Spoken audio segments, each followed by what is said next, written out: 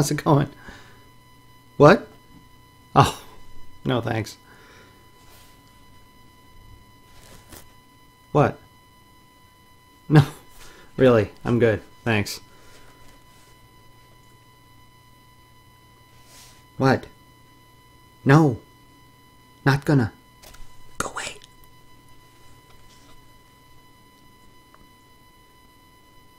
Oh, come on, really? You really want to make me review this movie? You. Look, you don't understand what you're asking. This is not just a bad movie. It is the sweat from a llama's infected, pus oozing ball bag! Okay, but you asked for it.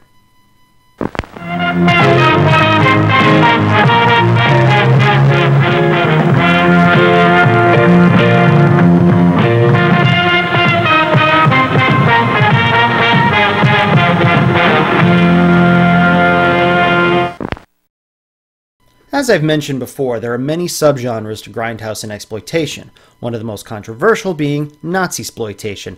These are exploitation films where your villains are the Nazis. Why? Because they're the most convenient villains ever because everyone hates the Nazis. Well, except maybe other Nazis.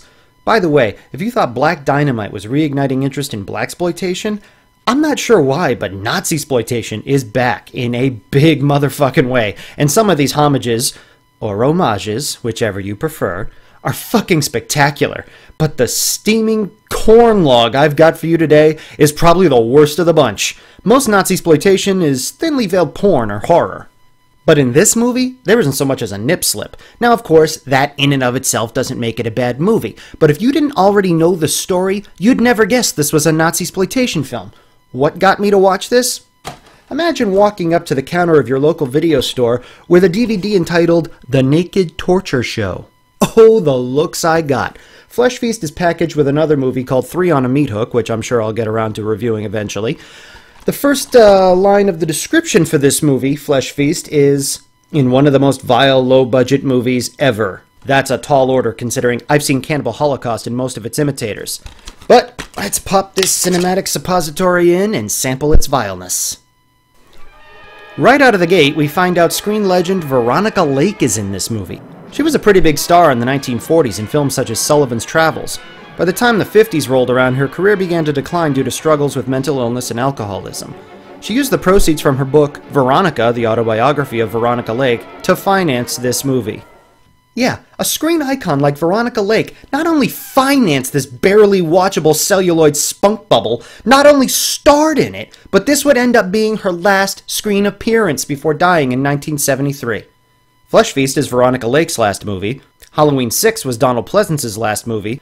Is it just a rule that the last movie a talented and respected actor makes before they kick has to be the creme de la crap? Of course! A reporter named Dan calls his editor, Casey, and tells him he's on the verge of a big story. Wait, Ed. I've got a tremendous story in very little time. The key man in the whole thing just got off the plane from South America, and I don't want to lose him. He makes sure he says it loud enough for the bad guys to hear so they know just where to find him so they make sure he never gets a chance to write it. Meanwhile,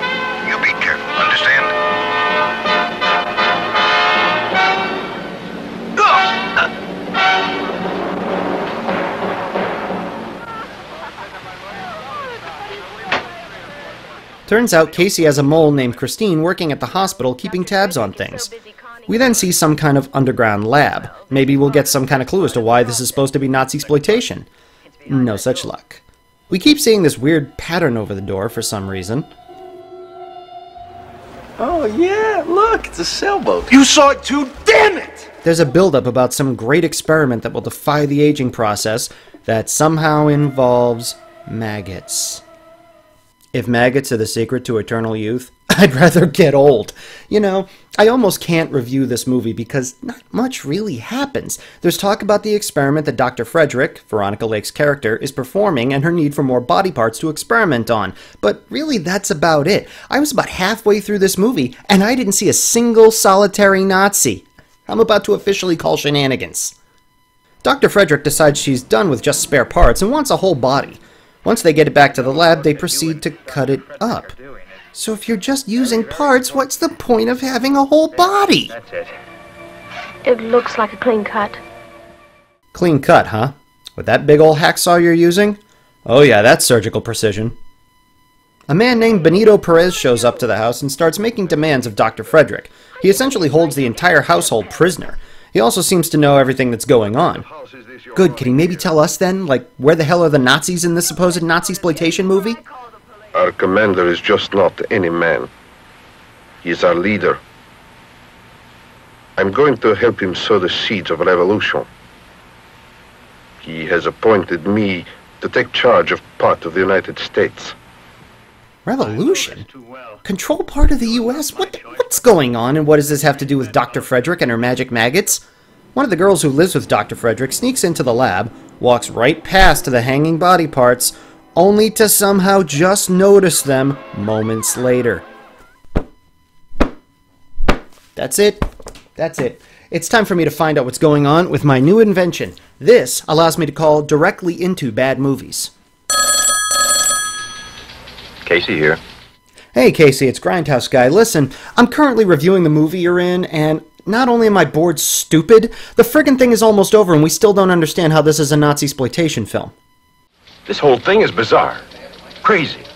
No fucking shit, it's bizarre and crazy. But anyway, you're right in the middle of this, so could you please enlighten us all as to when we can expect some kind of payoff from all this?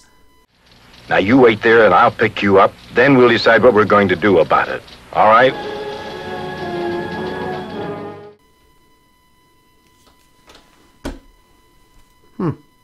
So they try this miracle maggot treatment on someone named Max Bauer, and apparently it makes him young again.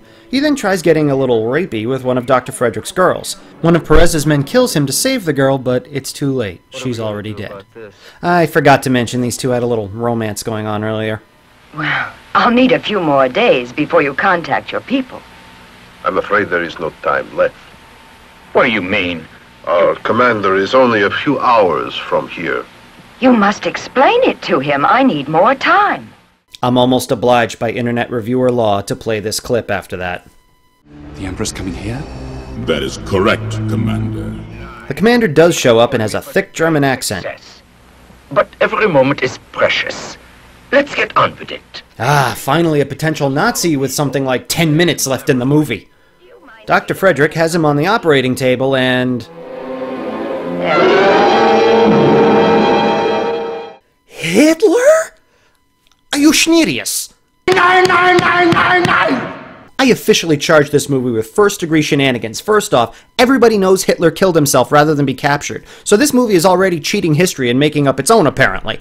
The rest of the description on the box for this movie reads The body of Adolf Hitler is kept alive through human experimentation by a gang of neo Nazis in hopes he will eventually rebuild his Third Reich and rule the world. Okay, first off, what group of neo Nazis? Do these guys look like the Aryan ideal to you? And clearly, he hasn't been kept young because he looks like the back of my sack with a mustache. And when the only Nazi in your Nazi exploitation film is Hitler, your movie is Scheiße! And to further strap on a barbed wire dildo and fuck the plot, Dr. Frederick doesn't intend to restore Hitler's youth at all. She uses the maggots to torture and kill him.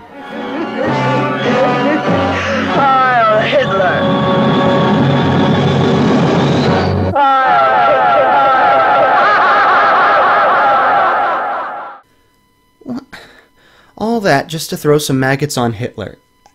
You know, if Hitler were still around and you wanted to kill him, there are easier ways. And even if you wanted to torture him first, why not pick something a bit more fitting, like some form of suffering that he inflicted on others?